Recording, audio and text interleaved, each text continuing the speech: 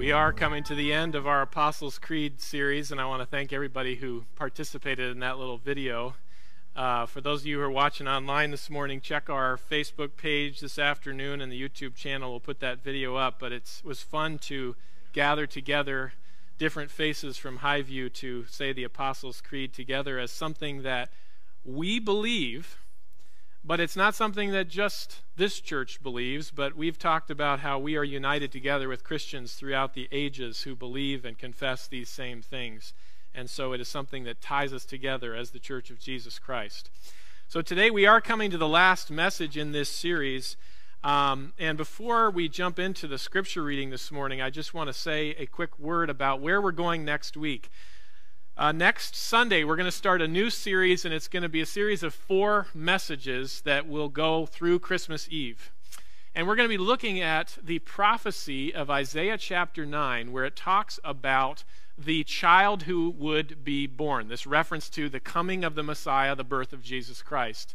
Uh, for to us a child is, uh, is born, and to us a son is given, it says. And then it gives these titles for Christ, and it calls him Wonderful Counselor Mighty God, Everlasting Father, and Prince of Peace. And so, over the next four messages, starting next Sunday, we're going to look at those four titles and we're going to explore in depth what those mean and how they give us a deeper picture of who Jesus is and what he means for our lives. So, I hope you'll join us for that, whether in person or live stream. Next Sunday, we'll start that. But today, we're going to conclude this series on the Apostles' Creed. And I'm going to be reading several passages of Scripture to start us off here this morning. So if you have your Bible and you'd like to follow along, you can open with me first to Genesis chapter 2, and I will be starting in verse 4. Hear now the word of the Lord. These are the generations of the heavens and the earth when they were created, in the day that the Lord God made the earth and the heavens, when no bush of the field was yet in the land, and no small plant of the field had yet sprung up. For the Lord God had not caused it to rain on the land, and there was no man to work the ground, and a mist was going up from the land, and was watering the whole face of the ground. Then the Lord God formed the man of dust from the ground, and breathed into his nostrils the breath of life, and the man became a living creature. And the Lord God planted a garden in Eden in the east, and there he put the man whom he had formed. And out of the ground the Lord God made to spring up every tree that is pleasant to the sight and good for food. The tree of life was in the midst of the garden, and the tree of the knowledge of good and evil. A river flowed out of Eden to water the garden, and there it divided and became four rivers. The name of the first is the Pishon. It is the one that flowed around the whole land of Havilah, where there is gold, and the gold that of that land is good. Bdellium and onyx stone are there the name of the second river is the Gishon, the Gihon. It is the one that flowed around the whole land of Cush. And the name of the third river is the Tigris, which flows east of Assyria. And the fourth river is the Euphrates. The Lord God took the man and put him in the Garden of Eden to work it and keep it. And the Lord God commanded the man, saying, You may surely eat of every tree of the garden, but of the tree of the knowledge of good and evil you shall not eat, for in the day that you eat of it you shall surely die. Skipping to chapter 3, verse 1. Now the serpent was more crafty than any other beast of the field that the Lord God had made. He said to the woman, Did God actually say, You shall not eat of any tree in the garden? And the woman said to the serpent, We may eat of the fruit of the trees in the garden, but God said, You shall not eat of the fruit of the tree that is in the midst of the garden, neither shall you touch it, lest you die. But the serpent said to the woman, You will not surely die, for God knows that when you eat of it, your eyes will be opened, and you will be like God, knowing good and evil. So when the woman saw that the tree was good for food, and that it was a delight to the eyes, and that the tree was to be desired to make one wise, she took of its fruit and ate, and she also gave some to her husband who was with her, and he ate. Then the eyes of both were opened, and they knew that they were naked, and they sewed fig leaves together and made themselves loincloths. Skipping down to verse 22. Then the Lord God said, Behold, the man has become like one of us in knowing good and evil. Now, lest he reach out his hand and take also of the tree of life and eat and live forever.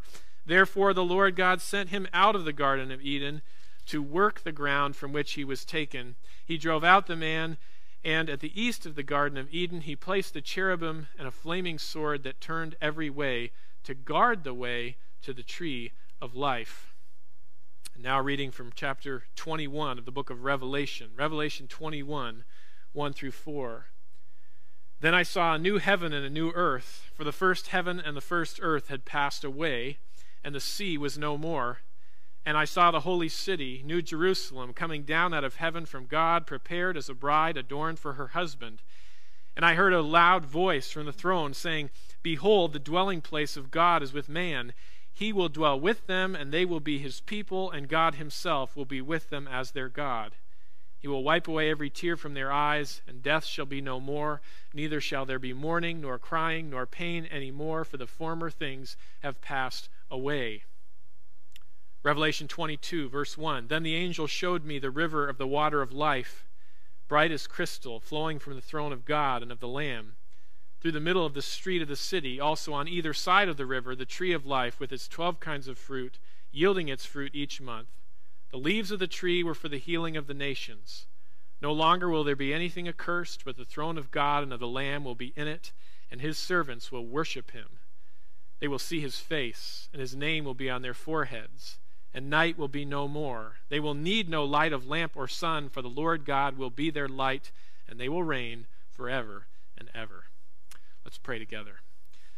Father, we thank you for your word, and we thank you for this series where we have been able to examine and consider those beliefs which are most foundational and fundamental to our faith. Lord, we pray that as we conclude this series today, you would show us more clearly what it means that you are a God of redemption and what it means that we are part of your story of redemption. We pray all this in Jesus' name. Amen. Today we come to the last three phrases of the Apostles' Creed, which state that I believe in the forgiveness of sins, the resurrection of the body, and the life everlasting. Now, I have to admit to you that as I was preparing for this message, I really struggled to figure out how I was going to do a sermon covering all three of those phrases. And I wondered even if I made a huge mistake in choosing to cover all three of those phrases as my last message of this series. Because each one of those phrases is a huge biblical topic that deserves attention of its own and could have a sermon of its own preached on it. So I wondered, maybe I made a mistake here. But then I came to a realization, and that is that these last three phrases sort of go together. They're connected to one another, and there's a reason, I think, that they form the conclusion of the Apostles' Creed.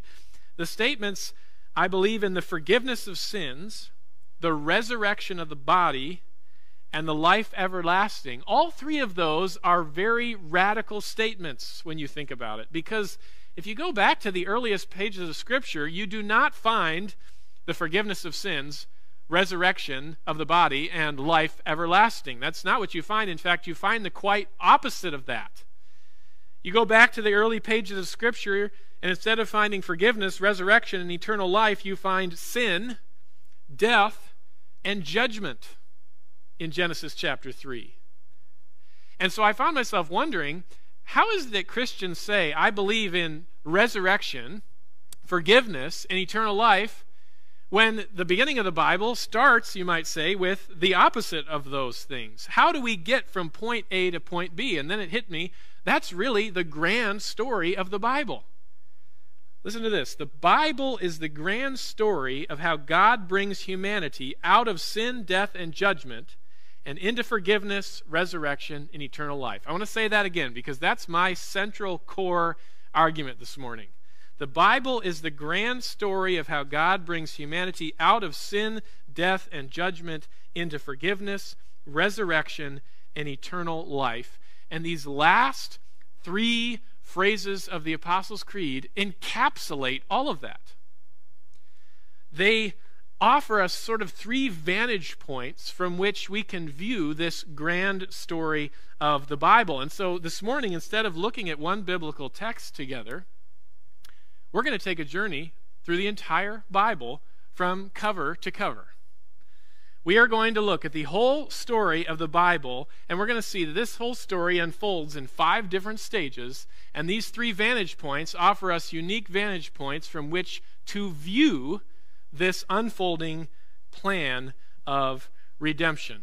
So, are you ready for this journey through the Bible? We're only going to be here for five or six hours, so I hope you ate a very big breakfast this morning. No, I promise you. In the next few minutes, we're going to go through the entire story of the Bible, and you're going to see how this unfolds. So here's stage number one creation. Genesis 1 1 says, In the beginning, God created the heavens and the earth.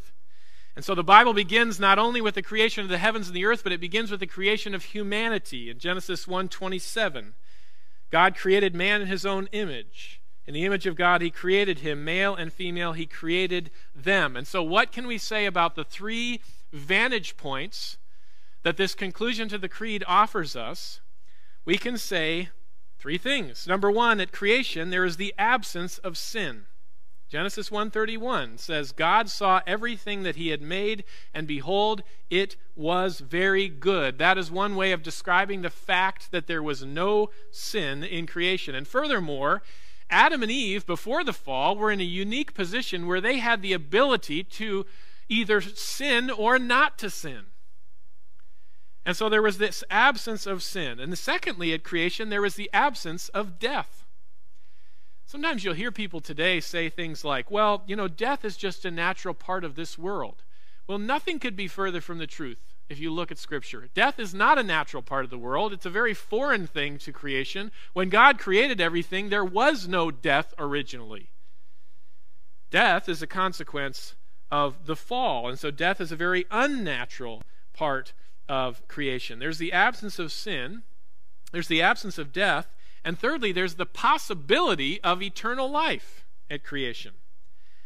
In Genesis 2:16, God says to Adam and Eve, you may surely eat of every tree of the garden, but of the tree of the knowledge of good and evil you shall not eat, for in the day that you eat of it you shall surely die. Now, that verse tells us a couple of things. First of all, it tells us what would happen to Adam and Eve if they disobeyed. Death would become a reality. But it also tells us something else that I find very interesting, and that is that Adam and Eve were given the ability and the opportunity to eat of all the trees that were in the Garden of Eden, except for this one tree, the tree of the knowledge of good and evil. And that means that they had access to every tree in the garden, including the tree of life. What that tells us is that at this point, they had the possibility of eternal life. If they were to obey God, they could have entered into eternal life. Theologians call this, uh, this stage that Adam and Eve were in before the fall as sort of a period of probation they weren't yet fallen, but neither were they yet confirmed in a state of eternal righteousness. They had the ability to choose whether to obey God or disobey God, and in that sense, they had the possibility of eternal life. Not a reality, but a possibility. And this is what we see at creation. Now, that brings us to stage number two. Stage number two of this story is the fall. Of course, in Genesis 3, we see that Satan enters the Garden of Eden in the form of a serpent and tempts, tempts Adam and Eve to question God's word and to disobey God. And this moment marks a radical turning point through the journey of Scripture. If you look at these three vantage points again, you see how everything begins to change. First of all, the fall. Now there is the presence of sin. Before there was an absence of sin, and now there is the presence of sin in creation. Adam and Eve chose to disobey God and sin enters creation. And now, from this point forward, the entire history of humanity is marked by the presence of sin. I mean, think about it with me. Adam and Eve have children. Their children have more descendants. And with every generation, what do we see? We see the multiplication of sin. So that by the time you get to Noah, Here's how it says, here's how it describes the state of things. In Genesis 6 5, it says, The Lord saw that the wickedness of man was great in the earth, and that every intention of the thoughts of his heart was only evil continually. So God sends a flood to wipe out all of humanity except for this one family and starts over. But after the flood, we see that not much has changed because God brings his people out of Egypt and his people are still sinning and grumbling against him and complaining against him. And then God brings his people into the promised land and they still are not obeying his law. And so God sends judges to lead the people. But uh, during this period of the judges, people are still not listening to God and following his law. In fact, do you remember what it says about the period of the judges? It, it, sort of summarizes that era by saying, In those days there was no king in Israel, and everyone did what was right in his own eyes. So the judges did not provide a solution, so God sends kings to the people to rule over them. And yet people were still disobedient to God, and in fact, even the kings were corrupt, 99% of them. So then God sends his people prophets. And he calls them back to him and calls them to repentance through his prophets, and yet the people don't listen to the prophets. And so you see the entire history, history of humanity is marked by the presence of sin. But not only that, at the fall, we see the presence of death. God told Adam and Eve that if they ate of the fruit of the tree of the knowledge of good and evil, they would die. The penalty for sin is death. And so, although death was not present before the fall, death is present and it's an inescapable reality after the fall. So Paul says in Romans 5:12, "Therefore, just as sin came into the world through one man, and death through sin, so death spread to all men because all sinned. Not only do we see the presence of sin and the presence of death, but we also see the reality of judgment. Sin causes us to be separated from God, to be separated from our Creator, and under His own just judgment. And you can see this reality reflected very clearly in Genesis chapter 3. Genesis 3:24 says God drove out the man and at the east of the garden of Eden he placed the cherubim and a flaming sword that turned every way to guard the way to the tree of life. I don't know about you, but that image has always just sort of captivated my mind. I remember reading that when I was younger and thinking, what on earth is going on here with a flaming sword and all of this strange stuff? What's going on here, though, is that humanity is being cut off from God's presence.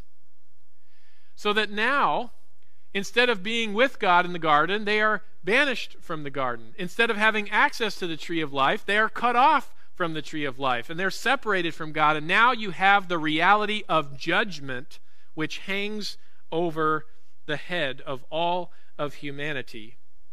And this means that without any intervention, we would be separated from God and separated from the tree of life from all eternity. So that brings us to stage number three, which is redemption. Thankfully, of course, we know that God did not abandon us in our sin, but He sent a rescuer to save us from death and to save us from judgment. And this rescuer was His very own Son who would rescue us by going to the cross. And so, what does that mean for these same three vantage points? Number one, when it comes to sin, Christ's work marks an atonement for sin. And we talked about this in our previous messages, particularly when we talked about what it means that Christ was crucified, but that he was a substitutionary atonement. So that when Christ went to the cross, he was not dying for his own sins because he had no sins. He was standing in our place and dying for our sins as a substitution on our behalf. You see this reflected all over in the scriptures. 1 Peter 2 24 says, He himself bore our sins in his body on the tree that we might die to sin and live to righteousness. Hebrews 9:26 says he has appeared once for all at the end of the ages to put away sin by the sacrifice of himself. You see as Jesus dies on the cross, he makes an atonement for sin.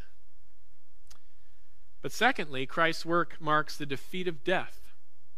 Christ did not just die on the cross, but he rose again 3 days later so that Peter says in Acts 2:24 God raised him up, loosing the pangs of death, because it was not possible for him to be held by it. Ever since the fall, as I said, death has been an inescapable reality. And you know, death is like the great equalizer. Doesn't matter who you are, doesn't matter uh, how smart you are, it doesn't matter how rich you are, it doesn't matter how poor you are. Death is an inescapable reality. And no matter how powerful man has become throughout all of history, That's one reality that has never been able to be taken away. No one has been able to conquer death. And those who say they're going to conquer death are just fools. But there was one man who conquered death, and that was Jesus. 2 Timothy 1:10 says Jesus abolished death and brought life and immortality to light through the gospel. So that now at the stage of redemption Christ doesn't just atone for sin but he defeats death and then thirdly he satisfies God's judgment. As I said earlier, we don't need to just be saved from sin and death. We need to be saved from God's judgment. And when Christ dies on the cross, he doesn't just take our sins on his shoulders, he takes the judgment for those sins on his shoulders. So that he satisfies God's judgment. This is the stage of redemption. Now that brings us to a fourth stage, which is what we might call new humanity the benefits that Jesus achieved on the cross are not automatically applied to anyone. I'm going to make that very clear. The benefits that Jesus achieved and accomplished on the cross are not automatically applied to anyone. The Bible says those benefits must be appropriated, they must be received somehow. And how are those benefits received? Well, the Bible makes very clear that it's by grace alone, through faith alone. Ephesians 2:8 says, "For by grace you have been saved through faith. This is not your own doing; it is a gift of God, not a result of works, so that no one may boast." In other words, the only way to receive the benefits that have been achieved by Christ is by God's grace as a gift through faith in Jesus Christ. When that happens, the Bible says that a person becomes a new creation. 2 Corinthians 5:17 says, "Therefore if anyone is in Christ, he is a new creation. The old has passed away; behold the new has come."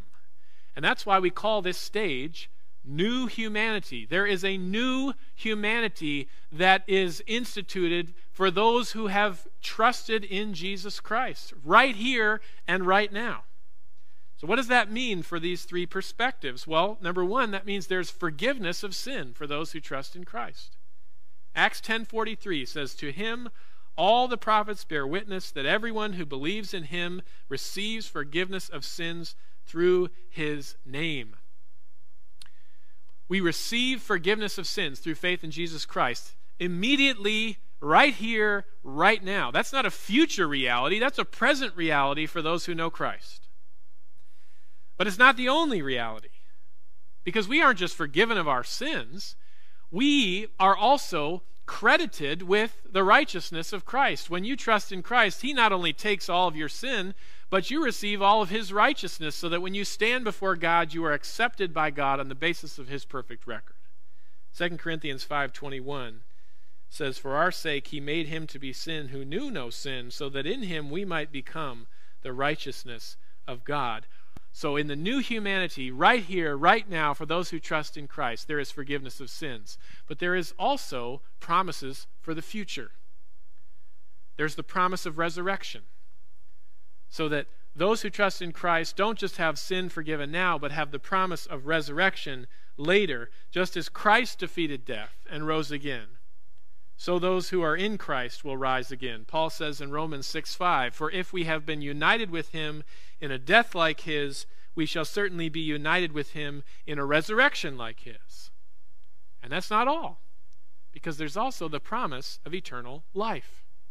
Instead of eternal judgment and separation from God, there's the promise of eternal life and union with God. So Paul says in Romans 6:23, "The wages of sin is death, but the free gift of God is eternal life in Christ Jesus our Lord." Whereas Jesus himself says, in John 3:16, God so loved the world that he gave his only son so that whoever believes in him might not perish but have eternal life. And so then this brings us to the last stage of the story. Stage 5 is a new creation. And this, this is the stage of the story which is still yet to come. And the Bible says that just as God created the heavens and the earth at the beginning, at the end, of the Bible, he creates a new heavens and a new earth. And on that day, we're told that everything will be made new. And on that day, everything will be perfect as it once was before the fall. And what can we say about these three vantage points? Well, first, in the new creation, sin will be eradicated. See, right now, we can experience the forgiveness of sins, but sin is not eradicated yet. Another way of putting it is that right now, if you are a Christian, the power of sin has been canceled, but the presence of sin still remains in the world and in our lives, and we battle against it. But one day, sin will be eradicated. In the new heavens, the new earth, it's not just that sin won't be present, sin won't be possible because God's people will be fully redeemed and glorified. Revelation 22, verse 3 says, No longer will there be anything accursed, but the throne of God and of the Lamb will be in it, and his servants will worship him. So the sin will be eradicated. Number two, our bodies will be resurrected. In the new humanity, resurrection is a future promise, but then it will be a reality. 1 Corinthians 15, Paul says, For the trumpet will sound, and the dead will be raised imperishable, and we shall be changed. For this perishable body must put on imperishable, and this mortal body must put on immortality. On that day, death will be no more. Death is an inescapable reality now. But Jesus conquered death, and one day death will be mo- no more. Revelation 21 4 says, He will wipe away every tear from their eyes, and death shall be no more, neither shall there be mourning, nor crying, nor pain any more, for the former things have passed away. And then, third and finally, in the new creation, there will be eternal life. The Bible begins with the possibility of eternal life. The fall happens, and there's the reality of judgment. The Bible ends with eternal life in the new creation because of what Jesus has done. And I don't know if you've ever spent much time closely reading Revelation 22. I'd highly recommend you do. It is so fascinating to me that in Revelation 22, the new creation is described as like a restored Eden. It's a garden. And in fact, if you look closely, there's a tree of life. And the clear message there is that the paradise that was once lost will be restored, and that even though we were cut off from the presence of God, we will one day again be united in the presence of God forever, those who believe in Christ. And even though there was then no access to the tree of life, we will once again have access to the tree of life. There will be eternal life for all of those who trust in Jesus Christ. And this is the new creation. We just read the whole Bible in like how many minutes was that? Did anybody set a timer? this is the whole unfolding story of redemption in the Bible. As I said earlier, the Bible is the grand story of how God brings humanity out of sin and death and judgment into forgiveness, resurrection, and eternal life. And I want to conclude by asking you this morning where do you find yourself in this story? Today's the first Sunday of Advent. Advent is a time when we remember the coming of, of Jesus Christ, the birth of Jesus Christ, the coming of the Son of God into the world. You know, there's a reason why Advent receives our attention every single year, why we have a special season dedicated to this, because we realize and recognize that the birth of Christ is a pivotal moment in this grand story of redemption. And so Advent should serve as a reminder to us that we are living in the midst of a grand story of redemption that still is not finished yet. And so I want to ask you, where do you find yourself in this story? What I mean by that is some people might find themselves still living in the stage of the story that we know as the fall. In other words, there are many people, maybe someone watching or listening to this today, who would not consider themselves a believer. They're not interested in God or, or the things of God and would say, Well, I, I make my own way and I live my own life and I live my own story. And, and what I would encourage you to see, if that is you, is that no matter how much you want to make your own story, you are inescapably living in the reality of a larger story. And you, just like me and everyone else who is gathered here today, has a problem, and that problem is called sin. And if that problem is not dealt with, then we have an inescapable reality of death and judgment, which we cannot solve on our own. So, what are you going to do about that? How are you going to respond to that? Others might be listening to this message this morning and you find yourself a little somewhere else in the journey. Maybe you're listening to this and you are looking at this unfolding story and realizing the reality of redemption for the very first time and recognizing that there is no hope outside of Jesus Christ. He's the only rescuer, He's the only redeemer, He's the only one who can provide forgiveness of sins, He's the only one who has conquered death. He is the only one who can provide eternal life. If that's you and you're listening to this and you are recognizing that right now, then here's my plea don't delay any longer because you can embrace Jesus Christ as he is freely offered in the gospel right now, and all of the benefits which Jesus achieved on the cross can be yours and are promised to those who come to him and trust in him in faith and repentance. Now, I would imagine many of you who are sitting here this morning or listening or watching online would probably place yourself in this story in the stage of what we call new humanity. In other words, you have already trusted in Christ, been redeemed by Christ, had your sins forgiven by Christ, and you're living in this stage of the story where you are waiting for the final promises of the new creation.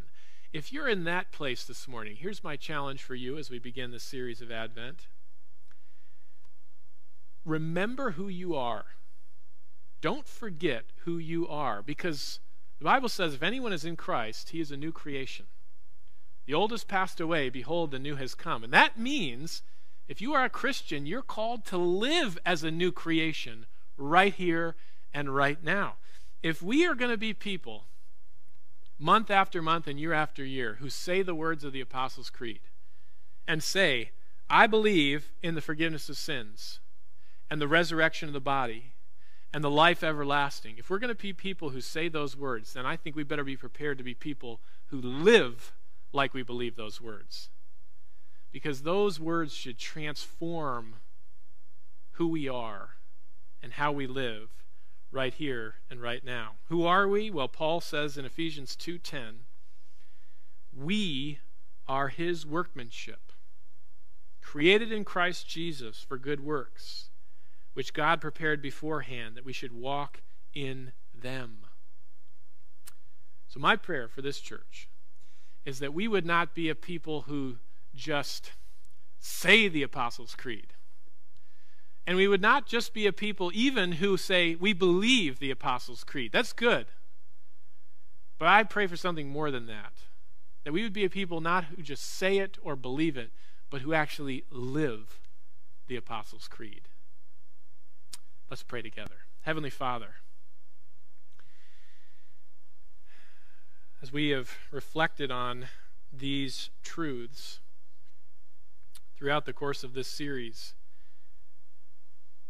Lord, we have been reminded of many, many of the most important realities which are laid out in your word.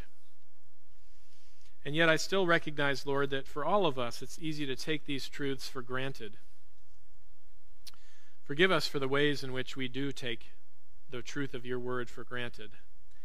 And Lord, help us to be a people who don't just believe in Christ, but also who live as the new creations that you have called us to be. We thank you for your grace, O Lord. We thank you for your promises, for the promise of forgiveness and resurrection and eternal life. And as we go through this season of Advent, Lord, help us to be a people who are eagerly awaiting for that day when you, Lord Jesus, will return. We pray all these things in Jesus' name. Amen.